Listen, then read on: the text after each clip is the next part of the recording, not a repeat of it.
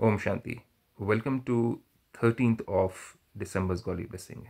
We have been missing out for almost seven days because of service and lack of internet facilities.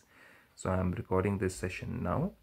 Uh, you can most probably receive, you might be receiving around one or two recordings on a daily basis so as to cover up the past missed out recordings. So let's go ahead. Godfather wants us to be seated on a seat of self respect, a spiritual self respect, so that we are able to give respect to all and thereby be respected by all. Father says, May you be constantly seated on your seat of elevated self respect and give respect to all and thereby be respected by all.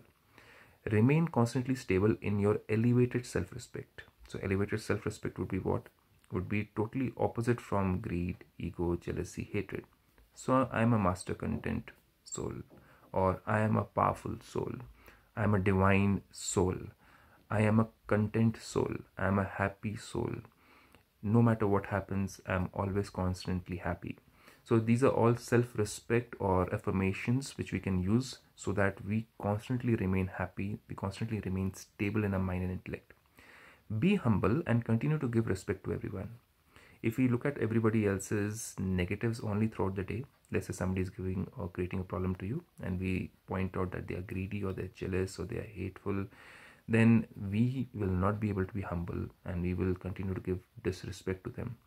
So god says look at the deeper aspects and be humble and continue to give respect to everyone. For this giving will become a form of receiving. When you give respect to them you'll start receiving respect to give respect means to put zeal and enthusiasm into other souls and enable them to make progress.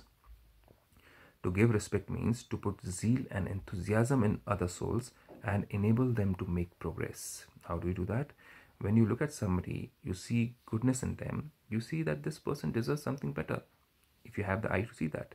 And that means you're able to find out goodness in them, which is given by God, and you are able to respect that being and thus by showing them their qualities their talents you're able to give them zeal and enthusiasm. Otherwise if you're looking at their negatives then you cannot give anybody zeal and enthusiasm. Forget about your own self. By constantly staying in your self-respect you will be automatically have all attainments. Because of your self-respect the world will respect you. And you will become worthy of receiving elevated respect from all. If we are in self-respect the world will respect us and we will become worthy of receiving elevated respect from all. Now, what is self respect and especially spiritual self respect? Not physical self respect that I'm beautiful or I'm handsome, or I'm rich. No, those are all physical. Spiritual respect, self respect is totally different, which you can explore when you go to a Brahma Center. Om Shanti with this.